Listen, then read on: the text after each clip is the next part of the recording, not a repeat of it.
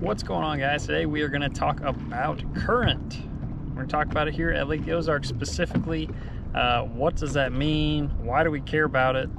What can it do for us? And uh, just kind of how to approach it. So if you're new to bass fishing or fishing in general, you're going to oftentimes hear people say, especially during the summertime, uh, hey, they're running current or are they running current? You know, it helps the bite a lot. What does that mean? So the dam here behind me is primarily used for power generation here. So we got little turbines over there, water flows down, makes them spin, generates electricity. Uh, that's the gist of it. It also has floodgates behind me, so if they can't discharge enough through power generation, uh, then they can just open the floodgates. So when they generate, it kind of turns this lake into a river, I would say. Especially uh, if you go up to the other end of the lake which there's another dam, Truman Dam, which dumps into Lake the Ozarks. If that is also open, then it's really like a river because the water is flowing out of Truman through Lake the Ozarks and then out this dam here. So Truman is a flood control lake, and I'll put the info up here where you can check the water level and all that of Truman. It's owned by the Corps, where this lake, Lake the Ozarks, is owned by Ameren. But they do work hand in hand to control water levels and stuff in the river. So um, right now, Truman is just a little bit high. We've had some rain, expecting more rain, whatever. So they basically have been discharging out of Truman and then discharging out of Bagnell Dam here via generation. So a quick little lesson of the numbers here. Uh, I will put the pages that you could see it on uh, Ameren's website is it's going to be measured in CFS, which is cubic feet per second, and I believe that this dam can generate 37,000 CFS with the generators, and if they have the floodgates open plus the generators going, I think it's 50,000. So quite a bit of water moving through there, but um, that is the maximum amount. So that kind of gives you a scale for if you're looking at the app, how much generation is happening. The higher that number is, the more current you're going to get, the more flow you're going to get through here, and generally the better the fishing is going to be, or at least it's going to stack those fish up uh, in, a, in a tighter spot because they're going to be relating more to that current. So that leads us right into why we care about this, and that is because it stacks these fish up in predictable areas. Uh, you know, think of a river system.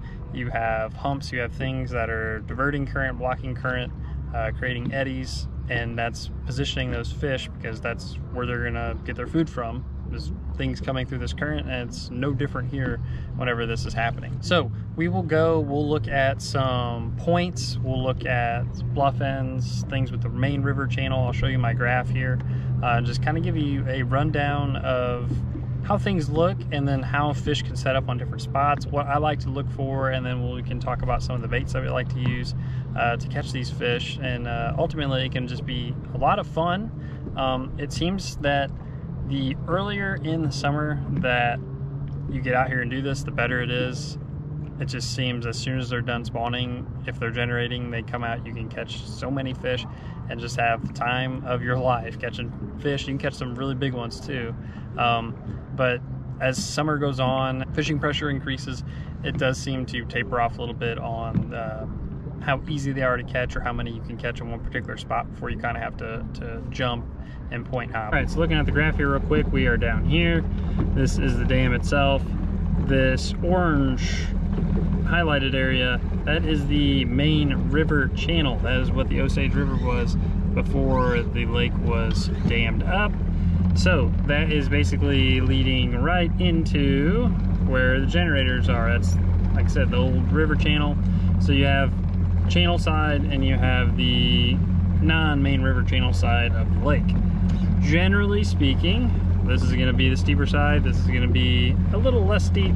Still gonna have steeper stuff, but you're gonna have more of your flatter, longer tapering stuff away from the river channel itself. But as far as which side to fish, I kind of mix it up. I do a little bit of both. Sometimes it'll seem that you do better on the flatter points. Uh, sometimes it seems that you'll do better on the steeper stuff right next to the main river channel. So kind of let the fish tell you uh, what's working best that particular day. Like I said, just experiment and kind of go back and forth. Don't get dead set on, on one thing uh, and pigeonhole yourself. So the first thing we're gonna look at is a bluff end over here. And I wanna zoom in on this so I can kind of show you the contour a little bit. So very, very steep at the top of my screen coming down and you can see it kind of flattens out and you've got this flatter space here. So when you get things like this, you can look for rocks, you can look for brush piles, additional pieces of cover. But one thing that I like to look for or look at are the contours and kind of how they're shaped and which direction I think the water is gonna be flowing. So let me actually zoom out here for a second. And as the water is coming through the lake, it's gonna be flowing down this way. So in this case, down the lake that is west, it's gonna be flowing this way into the dam. That's the direction that the current's gonna be going. So if we zoom into our bluff end again, and if we imagine we have water coming down and it kind of hits this little corner and then it, it, it's going up. You have to remember it's it's increasing elevation here, so it's like going up a hill. So the water is kind of flowing like that, if that makes sense. But it can also kind of swirl a little bit as it does that. So you have to try and envision how these fish are going to be set up. The fish are always going to be facing into the current. They're going to be swimming into that current. The food's going to be coming to them. That's how they're always going to be positioned. Now, there can be times when there becomes slack water on these points where it's like on a current seam just outside of it and the fish can also like to sit there because then they don't have to exert as much energy as if they're actually in the current. But nonetheless if they're in this kind of little pocket here I would expect the fish to be facing this direction. Uh, if they get further out here sometimes if you imagine the water kind of comes up and then kind of swirls back down then you get fish that are end up facing towards the top of my screen. So that is something that I like to try and visualize in my head, but water can do really weird things. All right, so here is the bluff end.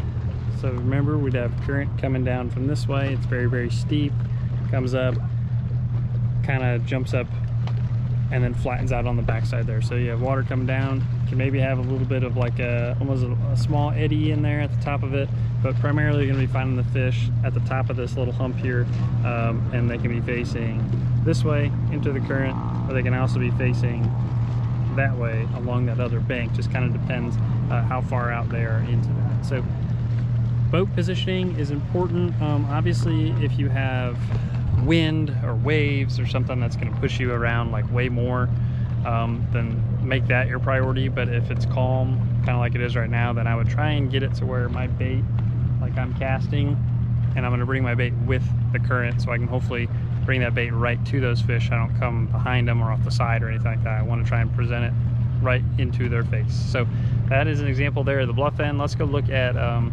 something that's a little bit more flat, like a more rounded point and see what that looks like. Okay, now here is a good example of a flatter, more round point up here. It's actually kind of a little cluster of them. We got here, here, here.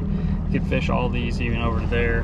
Um, and if you're gonna catch them on one, you're probably gonna have similar results on the rest of them. So um, as you can see, you know, they, they do drop off, get pretty deep, but you do have, if I zoom in, you've got a lot more of a, uh, like a shelf, just a, a larger flat area. The contour lines are spaced out. So when you're looking at this, primarily your water is gonna travel kind of like over your flatter points like I said, it's not as much of a steep contour, so it's not going to eddy that water quite as much. It's not going to make such drastic changes. Whenever you have the really steep contours, that's when the water just does really, really weird things. Whenever it's more of a gradual thing like that, I feel like it's more predictable. Here's what the round points, flat stuff looks like, more or less, I should say. Uh, just real gradual. You can just see in the hillside like it's going down, but it's not a bluff.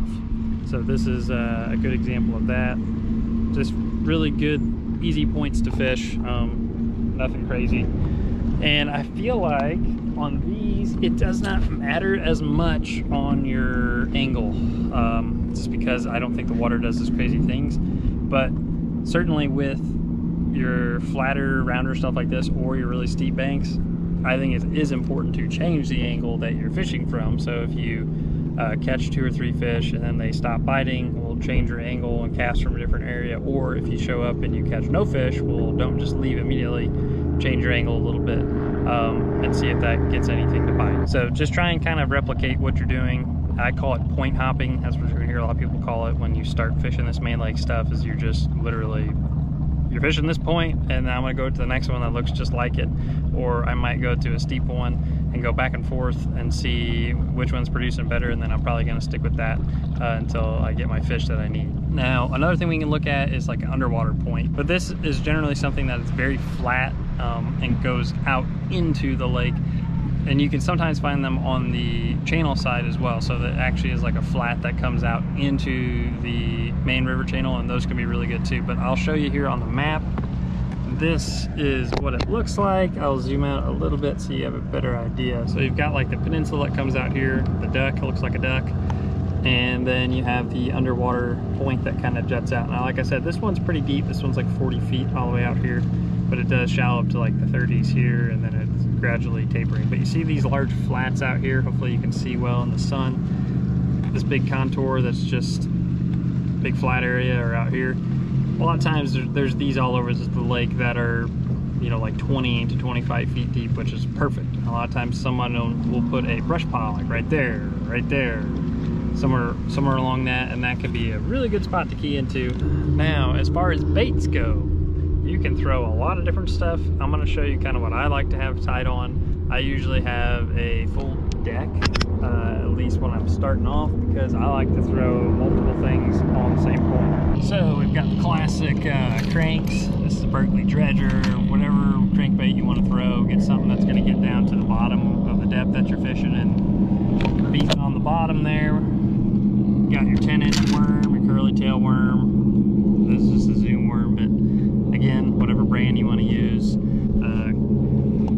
up the colors. I like to throw a half ounce weight so I can feel. Got the classic shaky head here. That's always uh, tried and true. I've got a smaller jig. Uh, this is just a half ounce small profile jig. Sometimes if it gets a little tough, that can help get you some bites. We can't talk about Main Lake without football jigs. So whatever color you want to throw on that. I don't know if color really matters all that much. This is brown with green tinsel. the jigs, I like to have something that's flapping. Lots of vibration, lots of movement. This is a Rage Craw on here. Something with big flappers uh, hopping up and down. You can throw brush hogs on these. You can throw brush hogs by themselves. Whatever plastics you want to throw. You have a lot of options out here uh, on the main lake. You can even throw jigging spoons or like a, a flutter spoon, I should call it, um, if you want to get crazy and flop that around see if you can catch anything big. You can throw glide baits out here, and then of course you can throw your regular swim baits. Uh, you got Keitechs, any other brands you want to throw. Um, just throwing those swim baits over the same spots. Every day be a little different. Some days crankbait bite might be good. Some days crankbait bite is no good. And then same thing with like your worm bites and stuff. Usually on the days if they're real active, you can pretty much throw a rock down there and catch them.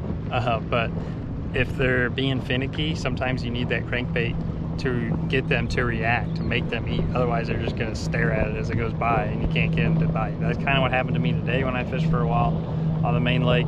Could not get them suckers to bite for nothing. They were there, could see them, could not get them to bite. That's pretty much the gist of uh, current and kind of how it sets these fish up. One other thing I want to add is graphing. You can drive your boat over this stuff. You can graph if you want. You don't have to. You can also just kind of point hop, especially with like forward-facing sonar and stuff. Um, I think it's a little easier to just sometimes pull up, pan around, see what you see, and go from there. But you certainly can graph, especially if you're wanting to find a bunch of good spots. Uh, you know, idling is usually faster to, to go over and just kind of drop some waypoints and then come back later and fish it.